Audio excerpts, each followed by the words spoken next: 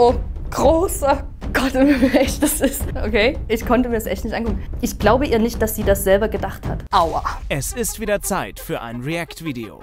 Dieses Mal die schlimmsten Momente von Angela Merkel.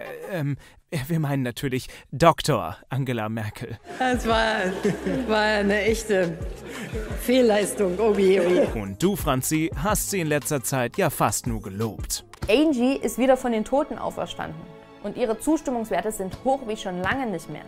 Ich finde, eine stabile Regierung und hohe Zustimmungswerte für eine besonnene Kanzlerin sind etwas Positives. Höchste Zeit also, einen kritischen Blick auf die Kanzlerin zu werfen.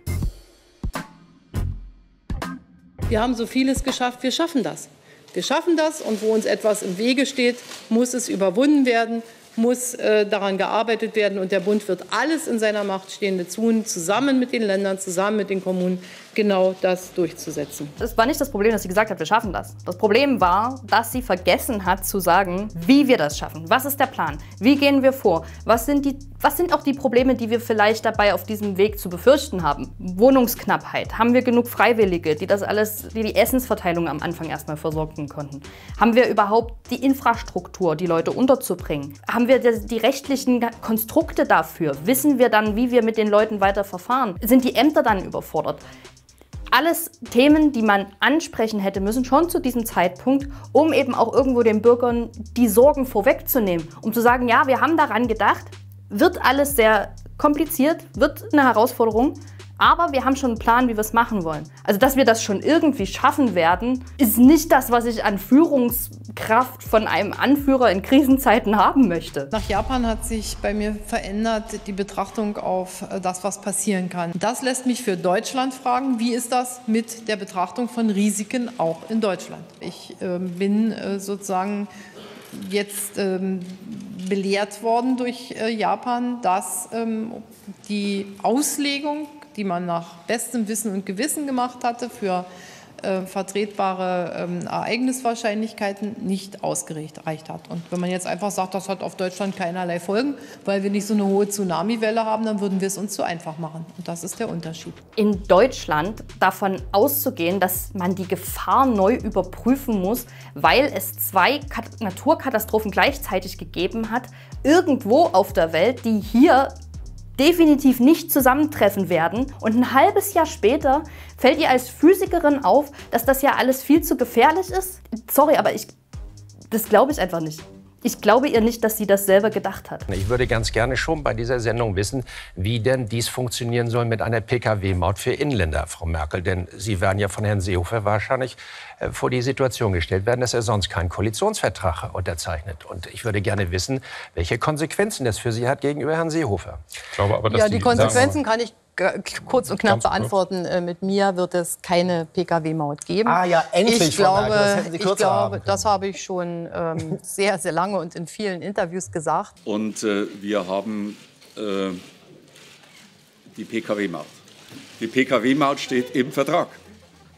Ja, hier haben wir jetzt den klassischen Fall. Das ist ein falsches Wahlkampfversprechen.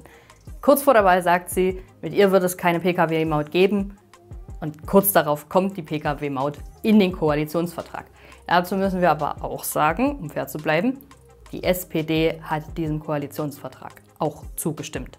Und jetzt ist es so, dass wir ja tatsächlich keine Pkw-Maut haben. Das haben wir aber nicht Angela Merkel zu verdanken, sondern dem EuGH, der ja festgestellt hat, dass das Projekt von Andi Scheuer da so ein ganz kleines bisschen überhaupt nicht nach EU-Recht umsetzbar ist, was ihm ungefähr halb Deutschland vorher gesagt hat. Aber ja, ich weiß nicht, wenn man sich bei der CSU in irgendein Projekt verliebt, das scheint dann sehr schwer zu sein, davon irgendwie loszulassen. Jetzt kostet uns das einen Haufen Geld. Es ist alles eine riesengroße Grütze. Ich weiß nicht, wie meine Zukunft aussieht, solange ich nicht wirklich weiß, dass ich hier bleiben kann. Ja, ist klar.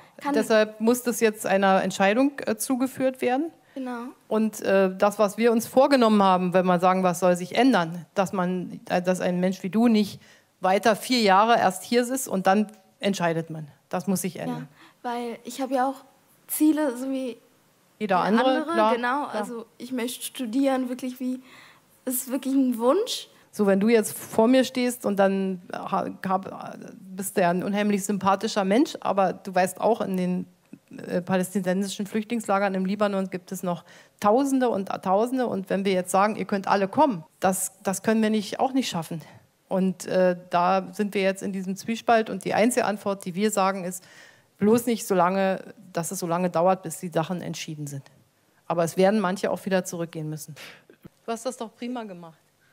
Ja? Ich glaube nicht, Frau Bundeskanzlerin, dass es da ums Prima-Machen geht, sondern dass es natürlich eine sehr belastende Situation Weiß ist. Weiß ich, dass es eine belastende Situation ist. Und deshalb möchte ich Sie trotzdem einmal streicheln, weil, ich, weil wir ja euch nicht in solche Situationen bringen wollen und weil du es ja auch schwer hast und weil du ganz toll aber dargestellt hast für viele, viele andere, in, welcher, in welche Situation man kommen kann.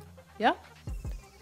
Aua das, ich meine, wir wissen alle, wir haben Angela Merkel nicht gewählt, weil sie so eine brillante Rhetorikerin ist. Wir wussten vorher, was wir kriegen, okay? Und das ist, dass sie wirklich nicht gut darin ist, Emotionen rüberzubringen oder dass es ihr sehr schwer fällt, das ist auch bekannt. Aber das ist echt gruselig.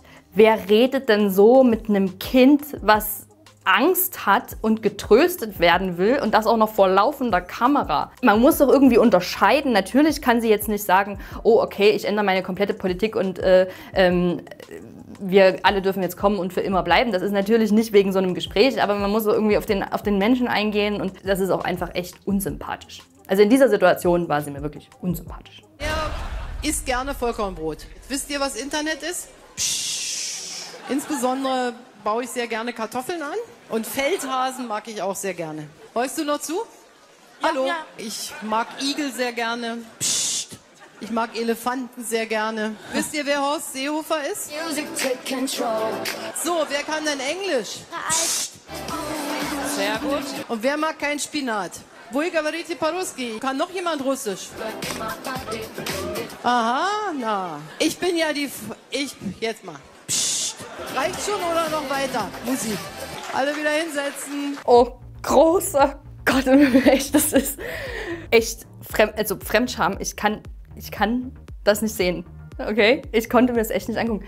Also Kinder, wer ist auf die Idee gekommen, diese Frau in die Mitte einer Schulklasse zu stellen? Ich meine, ich werde, dass dieser PR-Profi gefeuert worden ist, der diese Idee hatte. Man kann ihr einiges vorwerfen. Sie hat Versprechungen gemacht, die sie nicht eingehalten hat.